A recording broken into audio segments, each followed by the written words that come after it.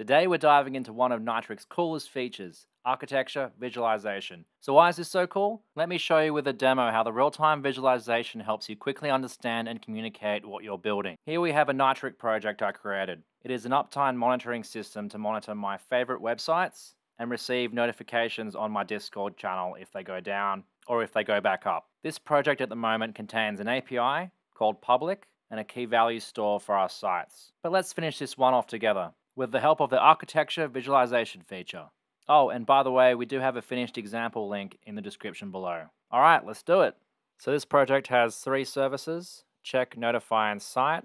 With site, I've already done the API for you for creating, deleting, and getting all the sites. So since you're a new team member, let's use the architecture diagram to learn about this project. So we have a public API that routes to our site service, and you can see we have a site's KV store that has the correct permissions there for reading, writing, and deleting. So how do we check our sites? With just a few lines of code, let's hook up our schedule to the check service. Okay, so firstly, we need somewhere to publish our site updates. So let's go ahead and create a topic in our resources. Let's call it site update. And in our check service, let's uncomment this schedule code, which loops through all our sites from the KV store and publishes updates to the site update topic.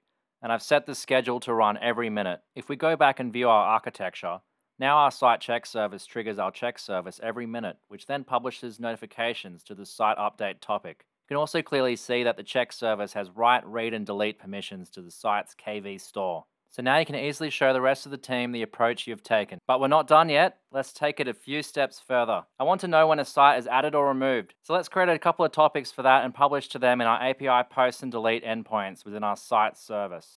So this new visual makes it easy to ask others for opinions on architecture optimizations. So now we can see the site service is now publishing to the new site added and site removed topics. Okay, let's wrap it up by subscribing to the topics and initiating the notification publishing. For this video, I'll only subscribe to the site update topic, but the process remains the same for the others. This code sends a post request to the Discord webhook URL containing the text content based on the site status update. Now we can visualize how the check service flows to the publish updates to the site update topic, subsequently triggering the notify service. Nitric's architecture visualization here makes it easy for leadership to understand the application right away. There you have it, Nitrix makes visualizing your architecture a breeze. To begin, explore our uptime monitoring guide in our documentation. Find the link in the description. Share your experiences integrating Nitric into your projects in the comments below or join us for a chat on Discord.